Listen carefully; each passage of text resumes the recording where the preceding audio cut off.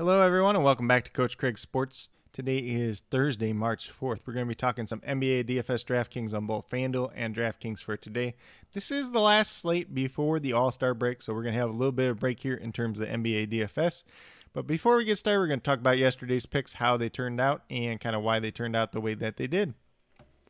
So on the DraftKings side, we had Dennis Schroeder, $5,900, looking for about 30 fantasy points out of him. He got 46.25, so definitely a major hit there.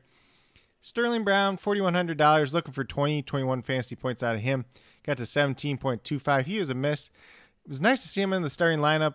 Nice to see him play pretty big minutes, but he just didn't quite get there yesterday. Then eh, at small forward, we had Norman Powell. $6,700 looking for 34 fantasy points out of him. He got to 46.25, so he was definitely hit. Definitely in play again as well today. Then Markieff Morris, $3,700, looking for 19 fantasy points out of him. He got 23.25, so he was a hit. Then Chris Boucher, $6,400, looking for 32 fantasy points out of him. Got to 34.5, so he is definitely a hit. So pretty good day on the DraftKings side overall yesterday. Then on the FanDuel side, we had Dennis Schroeder as well, $5,500, looking for about 28 fantasy points out of him. Got 45.7, so he was a hit as well. Then Talen Horton Tucker, $3,900 looking for 20 fantasy points out of him. Got to 22.9, so he was a hit. He would have been a, probably even a bigger hit if Kyle Kuzma didn't end up starting yesterday, but that's a whole nother story. Then Harrison Barnes, $6,800 looking for 34 points out of him. Got 29.6, so he was a mess. Probably not a guy that killed you overall, but still could have been better. Then for that power forward position, we had Jae'Sean Tate, $4,900 looking for about 25 fantasy points out of him. He got to 29.5, so he was a hit. And then last but not least, we had Steven Adams, $5,100. You're looking for about 26 fantasy points out of him. He got nine. Just a bad game for him overall. Only played 21 minutes. They did play a little bit more of that small ball lineup, which seems like they're starting to do a little bit more often. But with that being said, we're going to get over to today's injuries. So the Raptors are exactly the same as they were the last game out. We saw them have a starting lineup of Kyle Lowry, Terence Davis, Norman Powell, Yuta, Yuta Watanabe, and Aron Baynes yesterday. We'll see if that's the same starting lineup today or not. Watanabe barely played after that starting rotation, so not really concerned about him overall.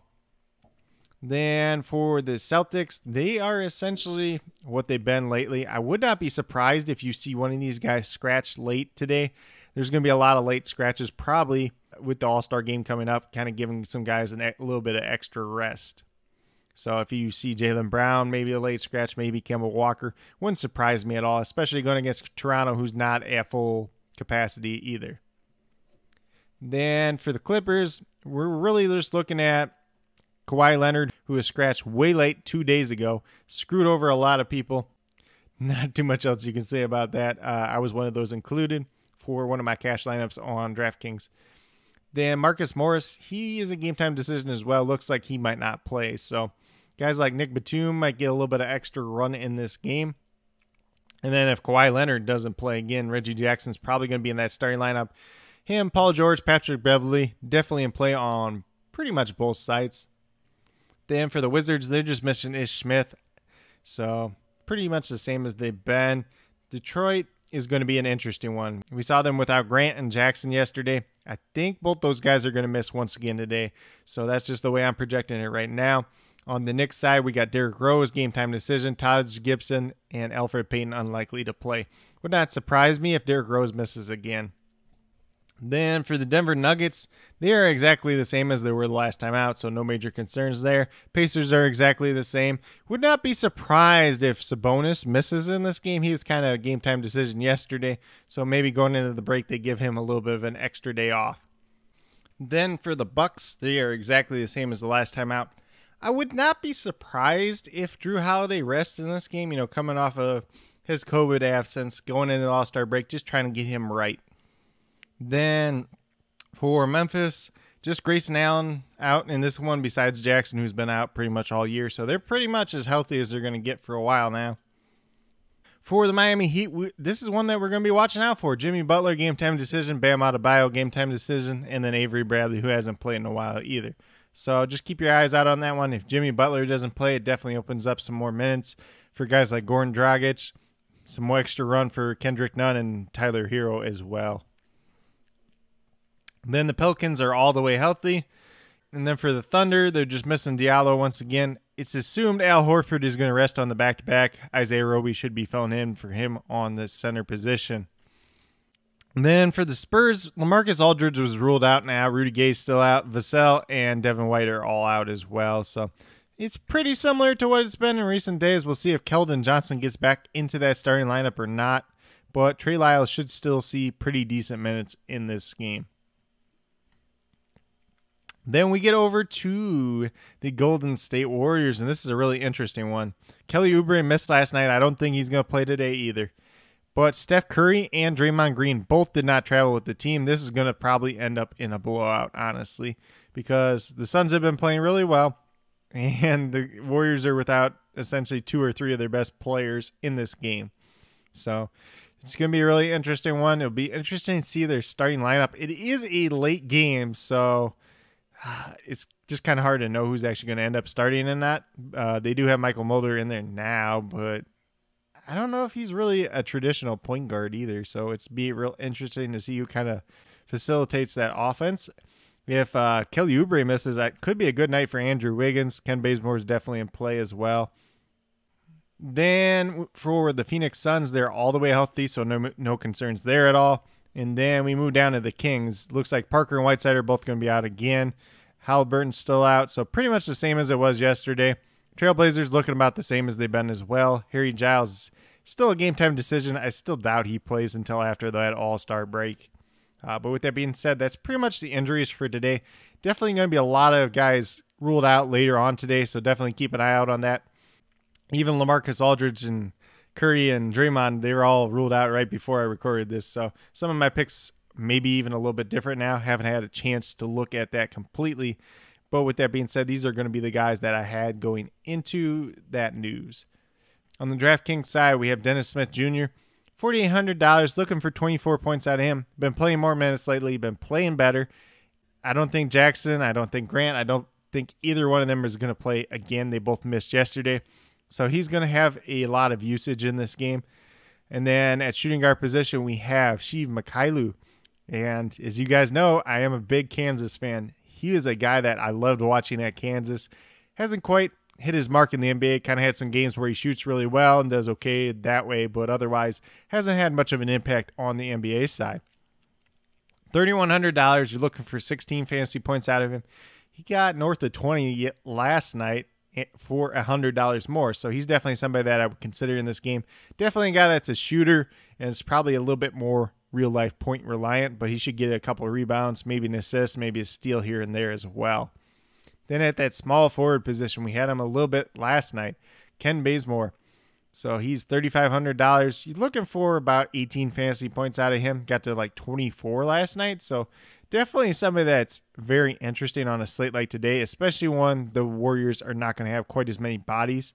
And with that being said, too, the Warriors did bring back Jordan Poole and Nico Mannion yesterday, and I thought that was kind of weird going into the All Star break. I'm like, why they bring these guys back? So maybe they kind of had this planned out in advance that they were going to, you know, rest Steph and Draymond today.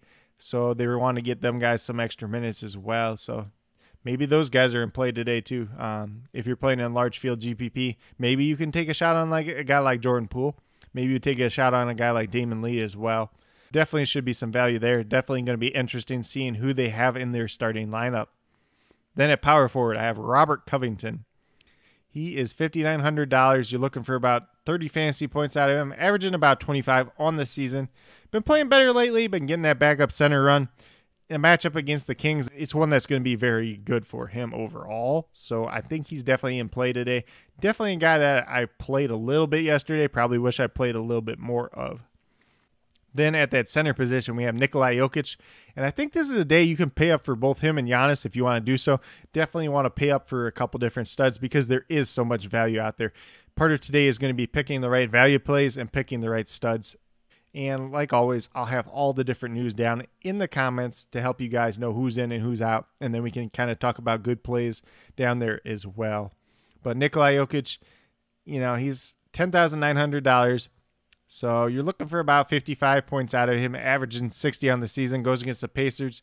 Miles Turner is a good defender. I know that. But it's Nikolai Jokic, and it's not going to matter. So, but if you go with these five guys over on draft, you'll have $21,800 left over, just under $7,300 per player. So, definitely some room to spend it up and spend down on a day like today, like I already mentioned. And then, with that being said, we're going to get moved over to FanDuel, talk about my picks over there. So on the FanDuel side, we have Malcolm Brogdon, $6,700. He's not a guy that I like playing too often, honestly. Hasn't really had that shooting touch as much this year. Obviously, we saw the big game from TJ McConnell last night, but that really doesn't affect Malcolm Brogdon too much. Uh, TJ McConnell is $5,000, so I don't mind playing him today either. Yesterday, when there was all that value out on the slate, nobody played him, but he did have that big 70 point game. So, so back to Brogdon, though. $6,700. You're looking for 34 points out of him, averaging 38 on the season. So definitely in play there. Definitely a good price down spot for him overall. Then shooting guard position, Paul George, $7,900. You're looking for about 40 fantasy points out of him. That's what he's averaging on this season. And I don't think Kawhi Leonard plays in this game, so it should be another very good day for Paul George. And it's a very, very, very good matchup against the Washington Wizards, who have one of the worst defenses in all of the NBA. Then I don't like to double dip too much, but Kent Bazemore is just probably too good of a play not to play today. $4,200, you're looking for 21 points out of him. You should definitely get you over 20 in this game. Definitely play big minutes, especially without all those guys that I mentioned earlier that could be missing. Then at power forward position, I got Isaiah Roby. Probably starting at center today, probably playing pretty good minutes with Al Horford resting on the back to back. So I think he's a guy that can definitely get you 25 points pretty easily today. And for his value, that's definitely going to pay off. Then last but not least, we have center Mason Plumlee. This is probably not a name that excites a lot of people, honestly. But Mason Plumlee has been very good in games where there haven't been as much help. So he's a guy that's had a couple triple doubles this year. He's going to get the big usage, especially if Grant and Jackson don't play. So he's definitely a guy I'm considering today. You know, you're looking for 31, 32 fantasy points at him, averaging almost 30 on the season. And that takes into effect all the games that he's played this season, which, you know, some of them were with Blake Griffin, some of them were with Jerami Grant, some of them were with Josh Jackson, some of them were with Derrick Rose when he was on the team. So there's a lot more usage to go around on a day like today, especially if all those other guys aren't playing. And then he goes against the Knicks. Not the best defensive matchup in the world, but I'm not really afraid of Nerlens Noel either way either. So definitely a guy that I'm considering today at that center position. So if you go with these five guys over on FanDuel for today, you'll have $30,300 left over, almost $7,600 per player. So definitely a lot of flexibility today. Like I said on DraftKings, you're going to pay up for some guys and pay down for some guys. Just kind of mix and match see what works out best for you guys. Definitely going to be an interesting slate overall. Hopefully, we're not scrambling quite as much like yesterday, where the news kept changing every like 15 minutes, it seemed like. Hopefully, we have a lot of that news earlier on today, especially headed into that All Star break. Most teams probably know who's going to play or who's not going to play today, especially in terms of resting guys. So hopefully we get that news, you know, around that 1:30 injury report, maybe a couple hours after that, so we have a little bit of time to prepare before the slate actually locks. And with that being said, if you guys have any questions at all regarding NBA DFS, especially for today's slate, please be sure to leave them down in the comments. As always, I'll be listing all the news and starting lineups as they become available down there as well.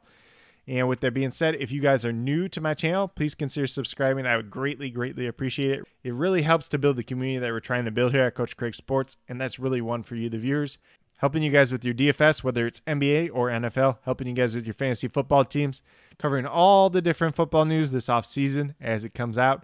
And as we move forward into baseball season, going to be covering some fantasy baseball and some baseball news as well. If you are new or current subscribers yet to do so, also hit that notification bell down below. It's going to let you know every single time I post up a new video.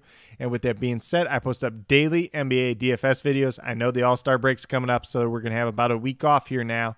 But with that being said, with that break off, I'm going to be pumping out some extra fantasy football content. So if you guys are into fantasy football as well, be sure to check that out too. But with that being said, that's really all I got for today's video. Hopefully, you guys all enjoy. Hopefully, you guys do very well in NBA DFS. You know, this last slate before the All Star break. And hopefully, we have some big winners tonight because I want to see that happening for each and every one of you.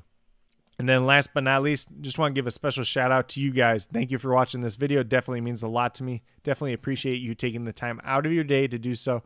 And I hope each and every one of you has a great rest of your day.